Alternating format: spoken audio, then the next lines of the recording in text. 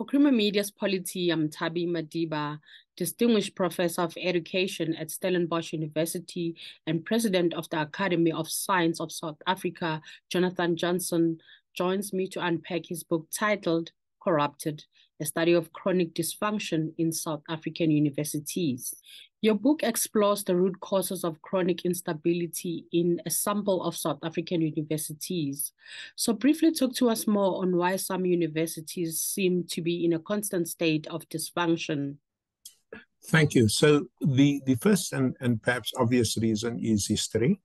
So, a lot of these universities, particularly the older ones like the University of Fort Hare, have a long history of being undermined, underfunded, by successive governments, whether it was the, you know, the early uh, colonial government, the apartheid government, the Ciskei government, all of these entities uh, really sabotaged what started off uh, a century ago as a really good liberal arts kind of university college. And over time, uh, the consequences of basically government interference and government misdirection has uh, uh, undermined Fort Hare's ability to stand strong today as a, a top university. Secondly, uh, history doesn't explain everything because there are universities that have overcome uh, problems of dysfunction, uh, places mm-hmm. like the University of Venda, the University of Limpopo, and the University of the Western Cape, which uh, I mentioned in the book. Because there's a second factor that keeps these universities in chronic dysfunction, and that is uh, the people that run these universities. You know, so unlike some of my colleagues on the hard left, I don't believe you simply say, oh, history has brought us to this point. You also have to say, what did we do as agents? You know, where does African agency come into this?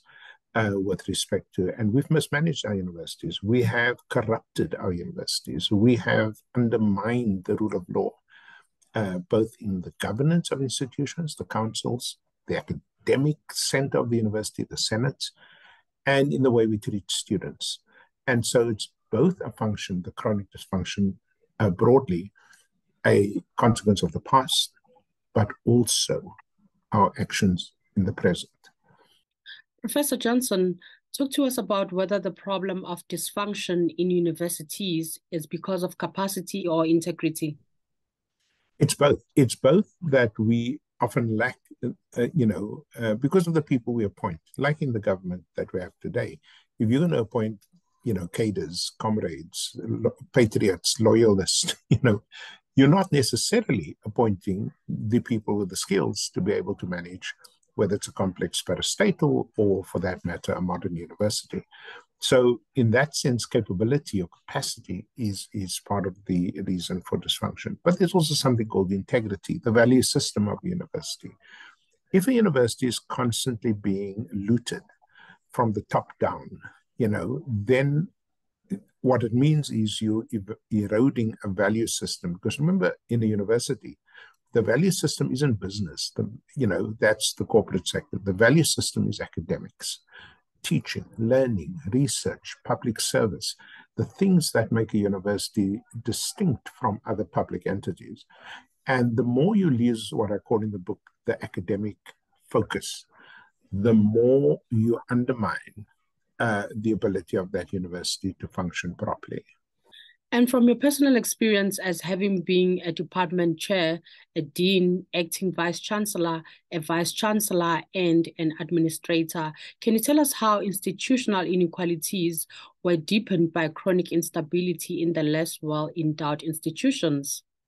Well, the, as you can imagine, the more time you spend trying to just keep the vultures out, the more time you spend writing elaborate rules, the more time you spend in court fighting corrupt uh, or, the CCMA fighting corrupt, the less time you have from a university management point of view in, you know, designing innovative curricula, uh, in doing staff development, in building strong international partnerships, the kinds of things that make universities good or not so good. And so, one of the big consequences of chronic dysfunction is that you can't attend to what we like to call the academic project because your hands are so full just trying to manage all the political operators on your campus, in your council, on your senate, in the admin of the university. And that becomes a fairly full time job.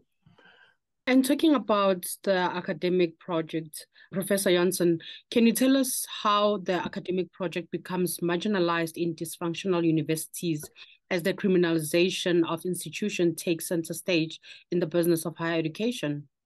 Yeah, as I said, it drops off the agenda. So one of the things that you, you know, you could do is look at the agenda of a council of a functional university and the agenda of a council of a dysfunction. In a dysfunctional university, the council often meets for not four times, which is minimum uh, and ideal, but six, seven, eight, ten, twenty times a year.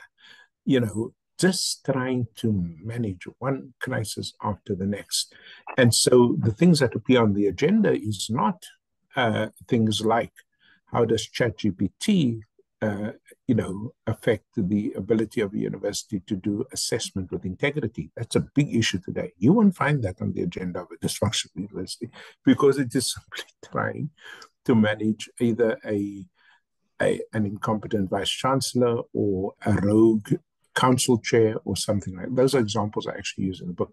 So again, it is the distraction that comes with dysfunction that disables attention to the academic project.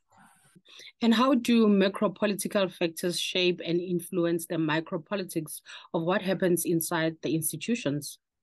So micro politics plays itself out through a range of actors within it. So in a modern university, who are those actors? Those actors are students who may be captured by their political parties that they represent on the inside.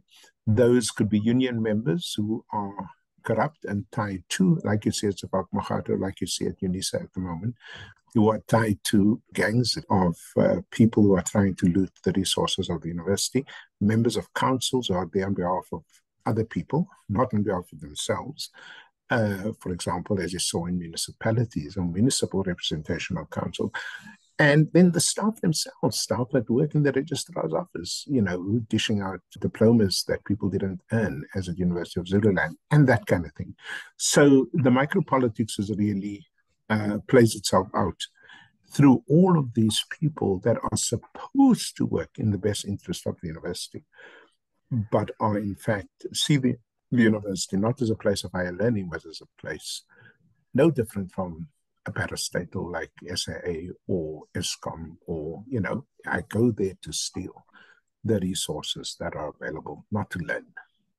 And can you tell us more on how political economy has been inattentive to the relationship between politics and resources in corrupt and dysfunctional institutions? Yeah, so the book uh, uses an approach that I call political economy, which in a very simple sense means the relationship between money and power, right? Or between politics and resources. And this is a sort of a standard approach to doing serious critical work in the study of things, entities like universities or anything else. It recognizes that you're not just talking about resources, you're talking about power. It recognizes that you're not just talking about power, you're talking about money. And so the way in which I have used that concept in the social sciences is to draw attention to the fact that those two things are very intimately linked in the way universities find themselves uh, uh, subject to, to political actors uh, with their eye on the resource. And remember, a university in South Africa these days often has a budget north of of a billion rands. And so people see that kind of money as something to be stolen rather than used to advance the academic project.